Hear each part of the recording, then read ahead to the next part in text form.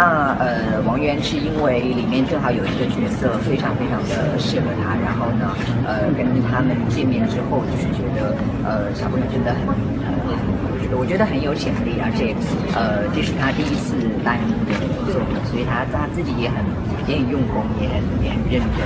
啊，所以说那王源的那个定妆照出来以后，很多网友有说，其实还有点没有那么就是像他们心目中想象的那个样子，所以你自己怎么看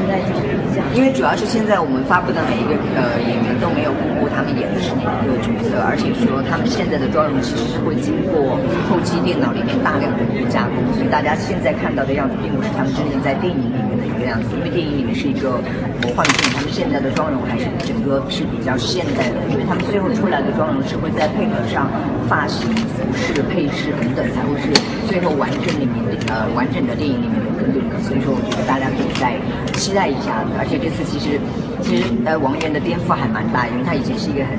很小可爱的样子，那这一次在我们的定妆里面，其实他我们会稍微把它画画的成熟一些，然后硬朗一些，所以说很多粉丝都觉得哇换了一个，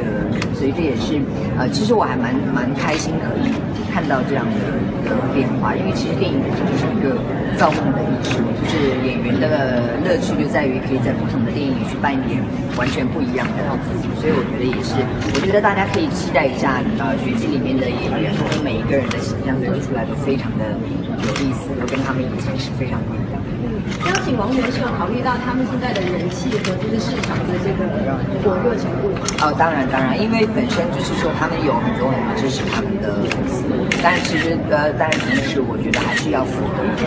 呃电影里面角色本身的要求，因为本身里面就有一个角角色是他们这个年纪的一个呃小朋友的一个角色，所以说也希望他可以来呃符合到人们就是对那个角色的一个想象。